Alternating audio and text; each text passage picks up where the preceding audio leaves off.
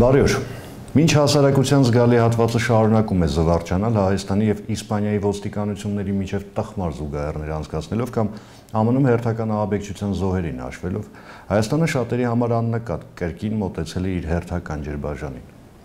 Խոսքը մասնավորապես վերաբերում է Եվրամիության հետ շրջանակային պայմանագրի ստորագրմանը, որը տարբեր աղբյուրների պնդմամբ նախանշված է հոկտեմբերի վերջին։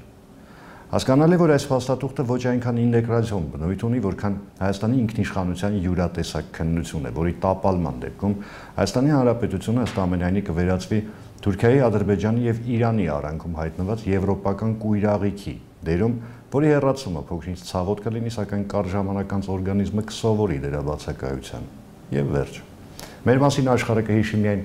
քարտեզին շատ ուշադիր նայելու դեպքում։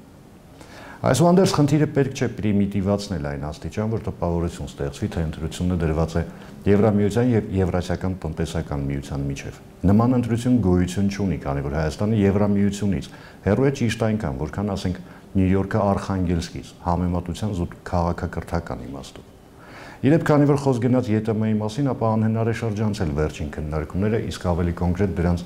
որակական բաղադրիչը։ Խնդիրն այն է, որ Եվրասիական տնտեսական միությունից դուրս գալու հարց Հայաստանի արտաքին քաղաքական օրակարգում չկա եւ դա ընդունենք որպես իրողություն տնտեսության հետ ընդհանուր ոչինչ չունի։ Խնդիրը քաղաքական ու քաղաքակրթական է։ Խնդիրը քաղաքական է, քանի որ բացակայում է այլընտրանքը։ Դուրս գալ ԵՏՄ-ից կնշանակի մեջքով շրջվել դեպի Ռուսաստանը, որը թե Հայաստանի, թե տարածաշրջանի վրա ունի ազդեցության զարհուրելի լծակներ եւ կարելի է ոչ մի վարքյան չկասկածել, որ անհրաժեշտության դեպքում Մոսկվան այդ լծակները գործի կդնի։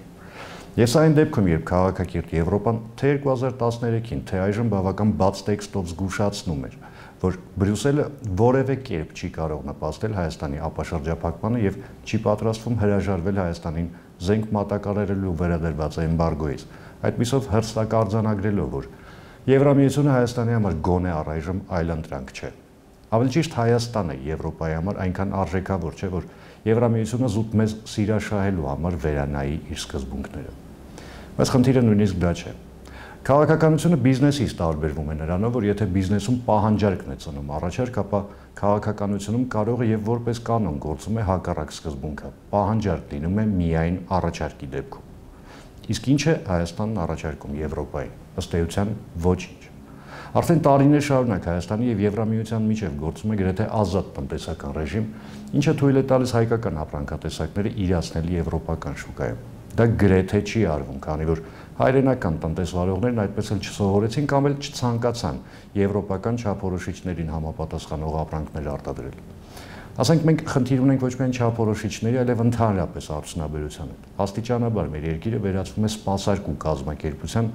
որի հիմնական գործառույթներն են դառնում դեպի Ռուսաստան եւ Եվրոպա հունկ արտահանելն ու նույն այդ Ռուսաստանից եւ Եվրոպայից Հայաստան այցելող տուրիստներին կերակրելը ընդհանրապես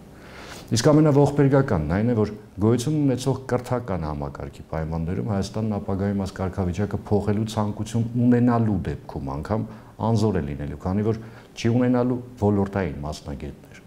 Հետևաբար կարելի է պնդել, որ Հայաստանը գոնե այս բանին եւ գոնե այս դրամաբանությամբ կարող է հետաքրքրություն առաջացնել ոչ թե որպես պետություն, այլ սոսկ որպես ռազմավարական նշանակություն ունեցող տարածք։ Այսինքն, անկախ նրանից, թե ում ազդեցության ոլորտում է այդ տարածքը, զարգացման հերանեկարները գրեթե զրոյական են, քանի որ չկա զարգացման ներքին պահանջարկ։